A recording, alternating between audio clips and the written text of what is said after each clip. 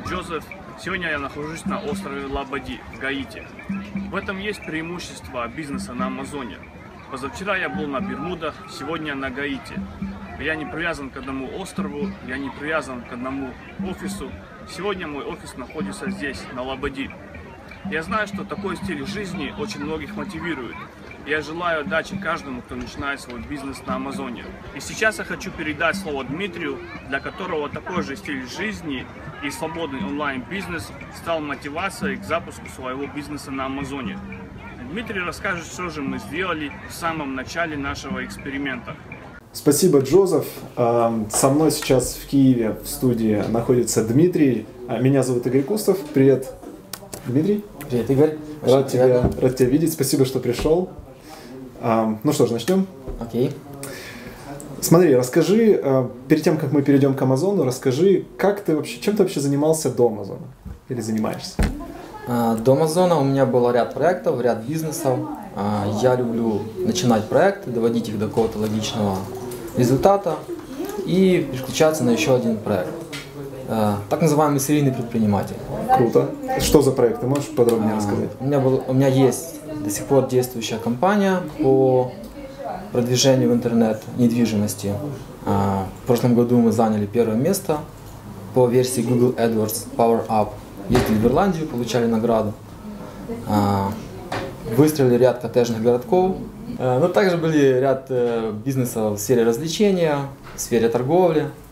То есть, в общем, был такой набор проектов. Это все занимало, конечно же, очень много времени.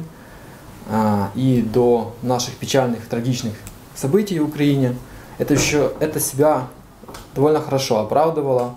Но, к сожалению, рынок упал, и стало очевидно, что необходимо зарабатывать в твердой валюте. А, а также самой основной мотивацией надоела офисная работа, захотелось попутешествовать, надоела привязка к месту и времени. А, в общем, хотелось иметь бизнес, который давал возможность не сидеть здесь, а открывая компьютер на пляже или где-то в горах, вести удаленно дела. То есть это была номер один мотивация. Круто. То есть ты, а у тебя уже есть и был опыт до того, как ты занялся Амазоном, предпринимательство, то есть тебе известны такие слова, как там делегирование, финучет, то есть ты уже был с опытом. Ну да. Круто. Хорошо. А, понятно, почему ты выбрал Amazon. А, расскажи какой был у тебя стартовый капитал? На что ты рассчитывал, с каких сумм начать? А, я рассчитывал протестировать, а, вложить около 5-6 тысяч долларов и, исходя из полученного результата, принимать уже дальнейшее решение о том, двигаться ли в этом направлении или, возможно, что-то проявить какую-то гибкость, менять и пробовать еще раз. Как правило, в бизнесе иногда людям не хватает упорства, они стыкаются с какой-то ямой, и важно здесь не отступиться, поменять подход и попробовать еще раз.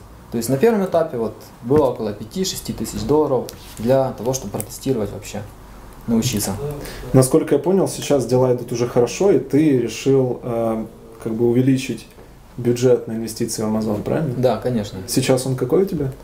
А, сейчас в сумме у меня проинвестировано а, 15 с половиной тысяч долларов. Круто. И ты собираешься еще инвестировать больше, да? Да, безусловно, потому что рентабельность инвестиций очень хорошая.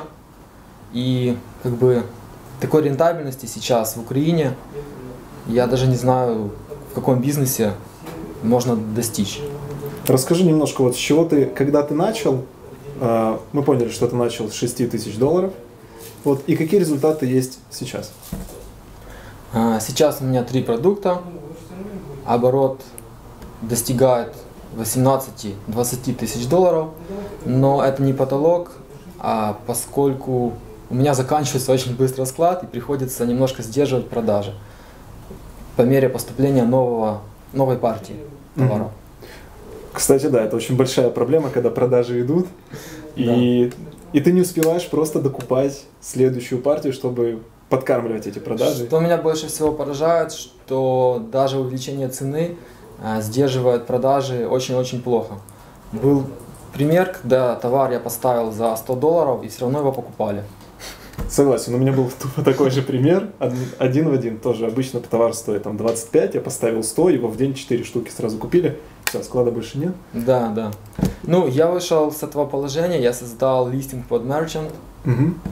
и увеличил еще стоимость, чтобы как бы товар доставлял ты, а не FBA склад. Мгм. И таким образом я не теряю позиций, а листинг мой продолжает находиться в зоне видимости. Круто, круто. Кстати, Дима, хотел тебя поблагодарить, что ты готов а, в итоге в конце показать свой продукт в, в конце шоу. Поэтому а, те, кто нас сейчас смотрит, не переживайте, мы обо всем расскажем в свое время. А, Дим, расскажи, ты работаешь сам или с командой? Я работаю с командой. Так, а кто у тебя в команде там? Расскажи подробнее. У меня есть исполнительный директор, который отвечает за операционную деятельность. Он контролирует и управляет э, выполнением задач. А, Есть подрядчики, а, есть также люди, которые смотрят товары, выбирают. То есть ты отдельно нанял операционного директора для своего Amazon бизнеса, правильно? Да, конечно. Нового нанял вообще Да, человека. да. Круто, я вообще такой подход поддерживаю. Вот. И есть ряд сотрудников, которые внутри команды получаются. И большинство, ну и мы э, часть задач выполняем самостоятельно, Мгм. часть задач выполняем там через подрядчиков. Там, те же самые фотографии это делают подрядчики. Но этим занимается у нас девочка, которая понимает в дизайне. И все вместе советуемся о результате, который мы получили. То есть вот так вот. Окей. А, то есть у тебя есть исполнительный директор, который контролирует людей в команде твоих, Да. и плюс еще подрядчиков каких-то. Да. А, смотри, а, обычно, когда ну, вот, клиенты Sales Hub начинают бизнес, они нанимают одного помощника, который впоследствии становится исполнительным директором. Ты говоришь, у тебя три продукта. Ну, мне кажется, это много людей для трех продуктов. Да, Чем без- они занимаются, расскажи. Безусловно, много, но я хочу выстраивать большой бизнес. Мгм. И поэтому люблю делать сразу все так основательно. Понял, то есть ты сразу масштабно заходишь. Да. так. А, Смотри, Дим, когда я начинал, то мне было бы выложить там 6 тысяч долларов сразу на Amazon, куда-то там китайцам заплатить. Достаточно, но я переживал бы как минимум. Вот. Расскажи, чувствовал ли ты какие-то опасения или страхи перед тем, как начинать А, этот бизнес? Бесспорно были моменты, когда ты чувствовал какую-то определенную неуверенность, и понятно, что не хочется терять деньги. Но, как говорят, не попробуешь, не узнаешь. Поэтому единственный способ было попробовать. И приш- поэтому я перешел через эти все барьеры и Мгм. сделал это. Ну а как ты понял, что сама тема Amazon, она будет работать? То есть ты уже был как-то, я не знаю, то есть ты просто видел рекламу в интернете и понял, о, ну интересно, давай положу там 6 тысяч долларов. Или были какие-то у тебя, ну, какие-то э, этапы промежуточные, что ты понял, что она действительно работает? Вот как это получилось? А, Я увидел, как Джозеф рекламирует свои продукты. Я посмотрел другие блоги. И было понятно, что это нормальный обычный бизнес-процесс, Мгм. который работает. Есть площадка, есть товары, люди возят, продают. Если это делают другие, почему я это сделать не могу? Круто. Я вообще думал точно так же. Отлично. Окей. а а скажи, почему ты остановился, вот ты сейчас работаешь больше с Джозефом, но почему ты остановился на Sales Hub? Вот об этом можешь рассказать? Потому что есть же и другие ребята, которые так или иначе занимаются Амазоном. А, Джозеф реальный практик, который достиг успеха. И Джозефа есть что показать. А когда люди почитают книжки или начитаются блогов и делают очередные свои курсы, это, откровенно говоря, видно. Спросите просто у людей, каких результатов вы достигли, и покажите ваших учеников, которые тоже что-то достигли. И на этом этапе как бы большинство школ отпадают сразу же. Согласен с тобой полностью. Мы, кстати, на этой почве и как раз с Джозефом познакомились. То есть как раз он мне первый написал, говорит, слушай, из всех, вот Sales Hub я вижу, что вы, ребята, знаете, давайте вместе работать. Я такой, вообще вопросов нет. И, в общем-то, так мы и начали работать с Джозефом вместе. Окей, а тогда предлагаю переходить к research у в следующем видео. Спасибо тебе большое, что делишься. До встречи. Спасибо.